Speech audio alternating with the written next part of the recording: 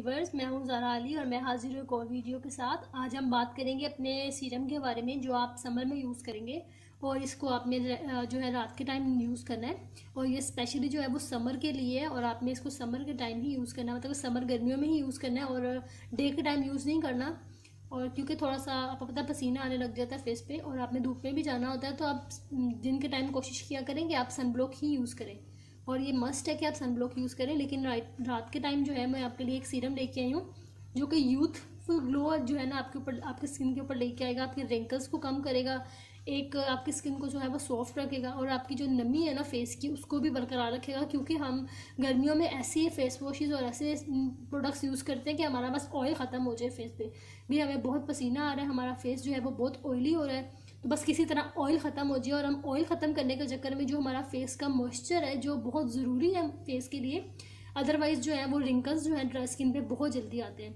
तो मैं आपको वो सीरम बताऊँगी जो कम जो है वो आपकी फेस को कम चिकना करेगा और लेकिन रात के टाइम यूज़ करेंगे तो आप काफ़ी देर स्टे करेगा और उसके बाद आपकी सारी रात जो है ना वो एक रिपेयरिंग का काम करेगा आपकी स्किन के ऊपर। तो मैं आपको बताती हूँ, सबसे पहले हमने अपने इसके लिए, अपने सीरम के लिए हमने यूज़ करना है। टू टेबल स्पून भर के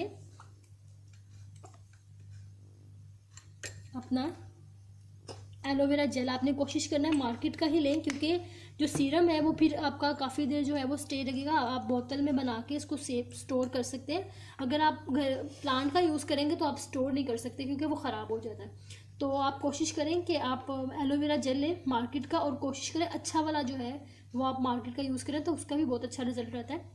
उसके बाद आपने इसके अंदर हाफ़ टी स्पून ग्लैसलिन का यूज़ करना है।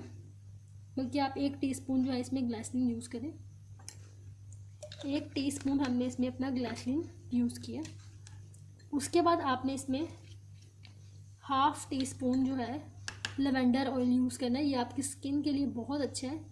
तो हाफ़ टी स्पून हमने इसमें अपना लेवेंडर ऑयल यूज़ किया। ये आपको आराम से पंसारी की शॉप से भी मिल जाएगा और आपको मेडिसिन की दुकान से भी मिल जाता है। उसके बाद हमने इसमें अपना एक टीस्पून आलमंड ऑयल यूज़ करना है।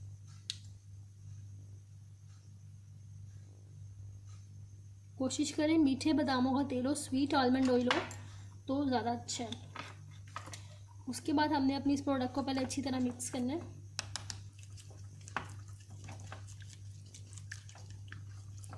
जो लेवेंडर ऑयल है, उसकी बहुत अच्छी जो फ्रेगरेंस आ रही है और उसकी बहुत अच्छी खुशबू आ रही है।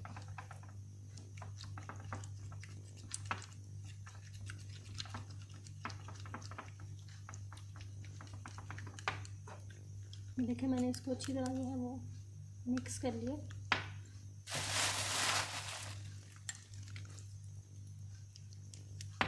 अब इसके अंदर हमने एक विटामिन ई का कैप्सूल डालना है ईवियन का, जो इजीली आपको किसी भी दुकान से जो है वो मेडिक, मेडिसिन की दुकान से आपको इजीली मिल जाएगा। ये आपकी स्किन को रिपेयर करेगा। और उसके बाद हमने अपने ये वाइटनिंग कैप्सूल्स डाले हैं।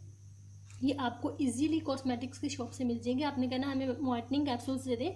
ये आपकी स्किन के लिए बहुत अच्छे हैं और ये आपकी स्किन में वाइटनेस लेके आते हैं। टू कैप्सूल्स जो हैं हमने वो यूज़ करना है।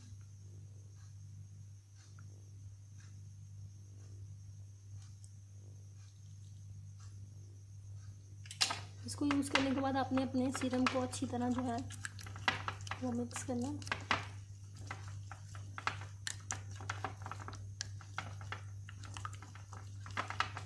ये देखें अगर आपको इसकी कंसिस्टेंसी जो है वो ज़्यादा थिक लग रही है तो आप इसमें गुलाब का, गुलाब जो है ना, पानी भी इस्तेमाल कर सकते हैं रोज़ वाटर भी यूज़ कर सकते हैं।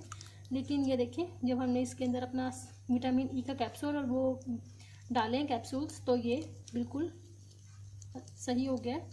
अब आपने इसको नाइट के टाइम थोड़ा थोड़ा जो है, जो आप फेस पे अप्लाई करना है, आप किसी, इसे अच्छी सी बॉटल में रख लें और आप इसको दो महीने के लिए सेव कर सकते हैं। और कोशिश करें कि थोड़ा ही बनाए, क्या मतलब मंथ के, एक मंथ के मुताबिक बनाए, उसके बाद न्यू ही बनाए तो ज़्यादा अच्छा है। तो इसके बाद आपने इसको नाइट टाइम पे यूज़ करना है। मैं आपको दिखाती हूँ देखें, इसको अप्लाई करने के बाद।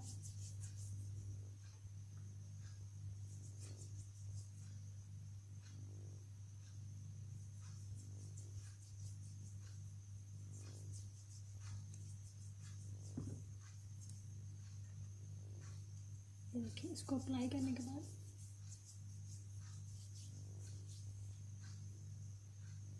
अब देखिए, मेरी स्किन बिल्कुल भी चिपचिपा नहीं है। देखिए, आप मेरी स्किन देखें। इसका रिज़ल्ट कैसा है? आप मेरी स्किन पे ग्लो देख सकते हैं और इसे आपने ओवरनाइट जो है वो स्किन पे छोड़ देना है और सुबह उठ के आपने फेस जो है वो धो लेना आपको इसको यूज़ करने के बाद कोई भी क्रीम की ज़रूरत नहीं रहेगी। अगर आप फिर भी कोई क्रीम यूज़ करना चाहते हैं तो पहले सीरम लगाएँ उसके ऊपर जो है वो क्रीम को अप्लाई करें जब ये ड्राई हो जाए। सो so, वीवर्स आप मुझे बताएँ आपको मेरा न्यू सीरम ये कैसा लगा है? और अगर ये इसमें से एलोवेरा जेल अगर सेपरेट भी हो जाए तो इसमें घबराने वाली कोई बात नहीं है। इसको जब आप अच्छी जब बॉटल में डालेंगे तो अच्छी तरह आपने शेक कर लेना है। तो ये बिल्कुल पहले जैसा हो जाएगा। सो so, व्यूवर्स आप मुझे बताएँ कि मेरी आपको वीडियो कैसी लगी है? मेरे ये रेमेडी आप अप्लाई करके बताएँ। मुझे यूज़ करके बताएँ कि आपको उसके कैसे रिज़ल्ट मिले मेरे पेज को लाइक करें मेरे पेज को सब्सक्राइब करें बेल बटन को दबाएँ ताकि आपको मेरी वीडियोस फ़ौरन मिल जाए और मैं आपको मिलूँगी नेक्स्ट वीडियो के साथ। अल्लाह हाफिज़।